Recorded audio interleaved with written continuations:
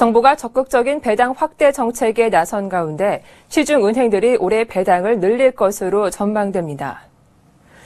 우선 지난해 1,932억 원을 배당한 KB금융은 올해 배당 확대가 확실시 되고 있습니다. 최고 재무 책임자인 윤웅원 KB금융지주 부사장은 최근 투자자 컨퍼런스 콜에서 정부 시책과 시장의 기대에 부응하는 배당 정책을 펼치려고 한다고 밝혔습니다.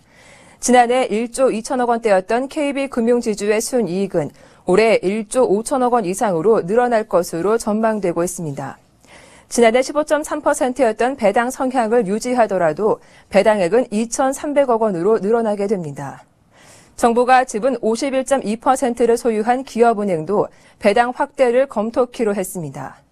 지난해 배당을 실시하지 않은 우리은행에 대한 기대감도 커졌습니다. 우리은행의 당기 순이익은 지난해 4,663억 원 수준에 불과했지만 올해는 3분기까지 순이익만 7,467억 원에 달해 배당 여력이 크게 늘었습니다. 시중은행의 배당 확대 가능성은 금융당국의 태도 변화도 뒷받침하고 있습니다. 금융당국 관계자는 건전성과 수익성 등의 문제가 있을 수 있지만 배당 확대는 전적으로 은행들이 자율적으로 결정할 문제로 본다고 말했습니다.